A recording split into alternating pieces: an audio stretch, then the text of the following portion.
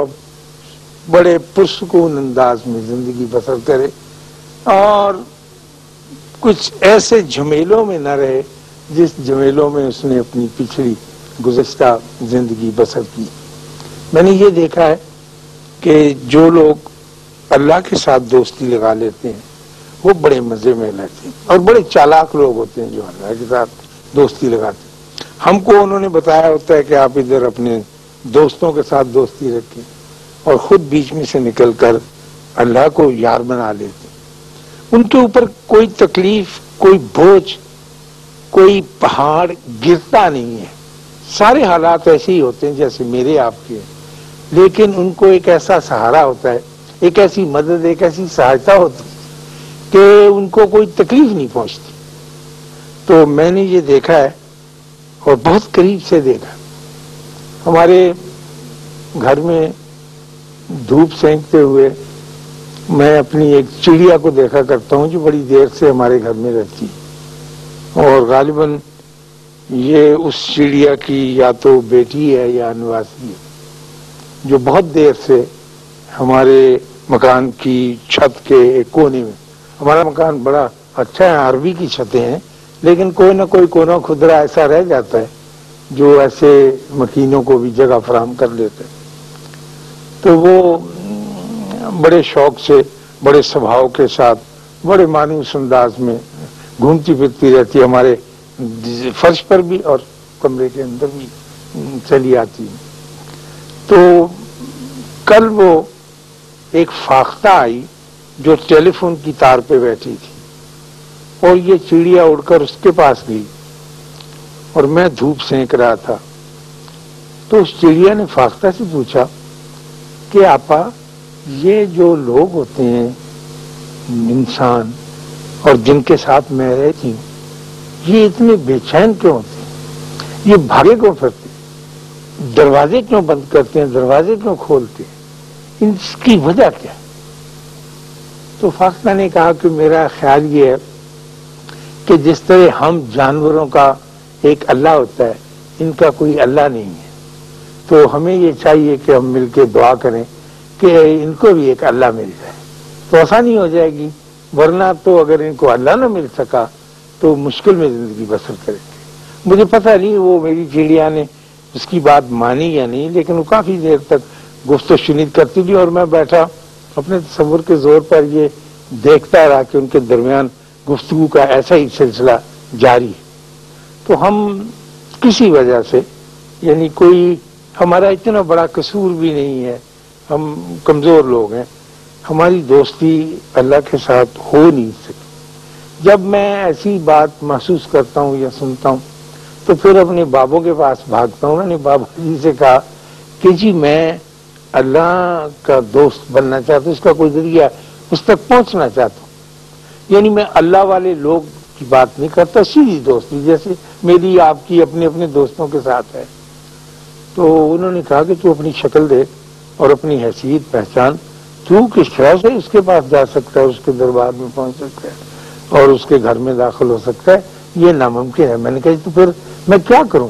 کوئی ایسا طریقہ تو ہونا چاہیے کہ میں اس کے ساتھ تو اس نے کہا کہ اس کا آسان طریقہ یہ ہے کہ خود نہیں جاتے، اللہ کو آواز دیتے۔ کہ اللہ آ جا میرے گھر میں، کیونکہ اللہ تو کہیں نہیں جا سکتا ہے۔ بندے کا جانا مشکل ہے۔ تو جب تم اس کو بلاؤ گے، تو پھر وہ آئے گا اور ضرور آئے گا۔ تو میں نے سوچا، اتنے سال زندگی گزر جانے کے بعد کہ واقعی میں نے کبھی اسے بلایا ہی نہیں، کبھی اس بات کی زحمت کی نہیں تھی وہ ایسے ہی میری زندگی رہی ہے، جیسے بڑی دیر کے بعد کالج کے زمانے کا ایک کلاس فیلو مل جائے۔ بازار میں، تو پھر ہم کہتے ہیں کہ ہو بڑا اچھا آپ مل گئے۔ کبھی آنا وہ کہاں ہے؟ اس کو تو بیچارے کو پتہ نہیں۔ کہ رکھیں گے جی کوئی ہمارے ایک دوست تھے، وہ جب بھی ملتے تھے، ہم راول پنڈی جاتے۔ تو وہ کہتے کہ جی آنا، ذرا رکھنا، بہت اچھی بات ہے۔ میں نے کہا اچھا جی کہاں ان کا ایڈریس نہیں بتاتے؟ جیسے ہم اللہ کو اپنا ایڈریس نہیں بتاتے، کسی بھی صورت میں، کہ سچ مچ ہی نہ پہنچ جائے۔ ایک ڈر سا لگا رہتا ہے۔ تو میرے دوستوں کہا کرتے تھے کہ وہ کسی بس مہینے کے آخری ویک کی کسی ڈیٹ کو رکھ لیں گے، بس سن سٹ کے قریب۔ نہ تو ڈیٹ بتاتے تھے، نہ ٹائم بتاتے تھے ڈٹرمن نہیں کرتے۔ تو ایسے ہی اللہ کے ساتھ ہمارا تعلق ہے۔ ہم یہ نہیں چاہتے، بلکہ کسی حد تک ڈر جاتے ہیں کہ خدا نہ خاص اگر ہم نے اللہ سے دوستی لگا لی اور وہ آ گیا، تو ہمیں تو بڑے کام کرنے ہوتے ہیں۔ کوئی دوپٹہ چننا ہوتا ہے، بوٹ پالش کرنا ہوتا ہے، مہندی پہ جانا ہوتا ہے۔ اس وقت علامیہ آ گئے انہوں نے کہا کہ کیا ہو رہا ہے؟ تو مشکل ہوگی، ہم نے زندگی کے کام نپٹانے۔ باقی یہ میں سوچتا ہوں، اور میں نے اپنے بابا کا یہی جواب دیا کہ میں سمجھتا ہوں کہ اللہ کی عبادت کرنا بہت اچھی بات ہے، اور ہے بھی اچھی بات۔ تو انہوں نے کہا کہ عبادت کرنا تو ایک اور چیز ہے۔ تم نے تو مجھ سے سوال یہ کیا ہے کہ میں اس کو بلا واسطہ طور پر ملنا چاہتا ہوں۔ عبادت کرنا تو ایک گرامر ہے جو آپ کر رہے ہیں۔ اور اگر آپ عبادت کرتے بھی ہیں، تو پھر آپ اپنی عبادت کو سیلیبریٹ کریں، جشن منائیں۔ جیسے مہندی پہ لڑکیاں ناچتی ہیں نا تھال لے کے، موم بتیاں جلا کے۔ اس طرح سے۔ ورنہ تو آپ کی عبادت جو ہے، وہ کسی کام کی نہیں۔ ہوگی جب تک خواتین و حضرات عبادت میں سیلیبریشن نہیں ہوگی۔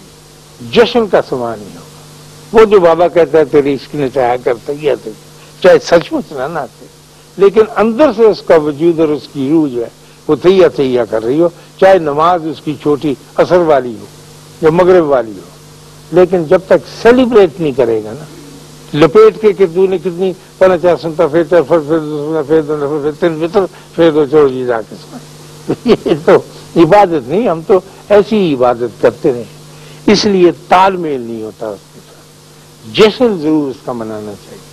ہمارے یہاں جہاں میں رہتا ہوں، وہاں دو بڑی فیلڈز ہیں، ہاکی کی گراؤنڈ اور کرکٹ گراؤنڈ۔ تو سنڈے کے سنڈے بہت سویرے، بہت جب ہم سیر سے لوٹ رہے ہوتے ہیں، منہ اندھیرے گڈی اڑانے والے آتے ہیں۔ ان کا بڑا اہتمام ہوتا ہے۔ بڑے بڑے تھیلے ہوتے ہیں ان کے اور بہت کاریں۔ اور اس میں رکھ کے وہ پتنگ اڑانے کے لیے ان کھلے میدانوں میں آتے اور پتنگ اڑانا خالی ان کا یہ فیل نہیں ہے، جیسے ہم عبادت کرتے ہیں، وہ جشن مناتے ہیں۔ جب تک اس کے ساتھ جشن نہ ہو، اس وقت تک وہ پتنگ نہیں اڑتی ہے، اس وقت تک وہ سما نہیں بنتا۔ تو کھانے پینے کی بے شمار چیزیں، باجا بجانے کے بھونپو وہ بہت کچھ۔ جشن زیادہ ہوتا ہے، کائٹ فلائنگ کم ہوتی جس طرح ہمارے یہاں عبادت زیادہ ہوتی ہے سیلیبریشن اللہ کو ماننا کم ہوتا ہے۔ تو میں نے کہا، یہ گجی اڑانے والے بہت اچھے رہ گئے۔ تو پھر ہمارے وہاں ڈیرے پہ بابا کے پاس ایک گڈی اڑانے والا آیا کرتا تھا، موچی دروازے کے اندر سے۔ بڑی خوبصورت چانسے کی باندھتا تھا دھوتی۔ جیسے انجمن باندھا کرتی تھی لمبے لڑ چھوڑ کر فلموں میں بالکل ویسے اور آ کے ہمارے بابا جی کہتے تھے کہ گڈی اڑاؤ۔ یعنی وہ ہم کو ایک حوصلہ دیتے تھے کہ سیلیبریٹ کرنا بھی اب مجھے سمجھ میں آنے لگی۔ تو وہ گلی اڑاتا تھا۔ اتنی اونچی خواتین حضرات، میں پہلے بھی بتا چکا ہوں کہ نظر نہیں آتی۔ اور میرے جیسا آدمی تو ڈور کو سنبھال بھی نہیں سکتا۔ تو میں نے اس سے پوچھا پاس دی یہ گڈی تم کیوں اڑاتے؟ کہنے لگا جی یہ گڈی اڑانا بھی اللہ کے پاس پہنچنے کا ایک ذریعہ ہے۔ نظر نہیں آتی کہنے لگا، لیکن اس کی کھینچ جو ہے یہ بتاتی رہتی کہ میں ہوں۔ اللہ نظر نہیں آتا، لیکن آپ کے دلوں کی دھڑکن یہ بتاتی رہتی ہے کہ میں ہوں۔ یہ نہیں کہ وہ آپ کے سامنے آ کر موجود ہو، تو اس کا بھی ایک عجیب سا ہمیں فن معلوم ہو۔ میرے ریڈیو میں ایک ہمیں ملی تھی اسائنمنٹ وہ یہ کہ پتا کریں چھوٹے دکانداروں سے کہ وہ کس طرح کی زندگی بسر کرتے دکانداروں سے کم، چھابڑی فروشوں سے زیادہ۔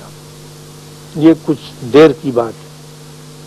تو میں گیا، بہت سے چھابڑی فروشوں کو انٹرویو کیا، ان سے حال معلوم کیے۔ پیسے کا ہی سارا اونچ نیچ ہے۔ اور ہم جب بھی تحقیق کرتے ہیں یا تحلیل کرتے ہیں یا انالیسس کرتے ہیں تو اکنامکس کی بیس پر ہی کرتے ہیں کہ کتنے امیر ہیں، کتنے غریب ہیں، کیا پرسنٹیج ہے، کس ریشو کے ساتھ زندگی بسر کر رہے ہیں، کیا ان کے مسائل ہیں۔ تو دلی دروازے کے باہر آپ لوگوں میں سے جنہوں نے دیکھا ہے دلی دروازہ، وہاں اس کے باہر ایک آدمی کھڑا تھا، نوجوان، تیس، بتیس برس کا ہوگا، اور وہ سنگھاڑے بیچ رہا تھا۔ کالے سیاہ سنگھاڑے ہوتے ہیں نا، چاقو سے کاٹ کے بیچ میں تھوڑے سفید بھی نکالے ہوتے تو میں اس کے پاس گیا۔ میں نے پوچھا کہ آپ کا نام کیا؟ کہنے میرا نام سلطان ہے۔ میں نے کہا، آپ سنگاڑے بیچتے ہیں؟ کہنے ہاں جی میں سنگاڑے بیچتے تو میں نے کہا، یہ کب تک کہنے کا شام تک میں کڑا رہتا ہوں، یہ بیچ تو میں نے کہا، کتنے کے ہو جاتے? کہنے لگا، کوئی ستر بہتر روپے کے ہو جاتے ہیں، میں سات شیر کے قریب گرین سنگاڑے منڈی سے لاتا ہوں.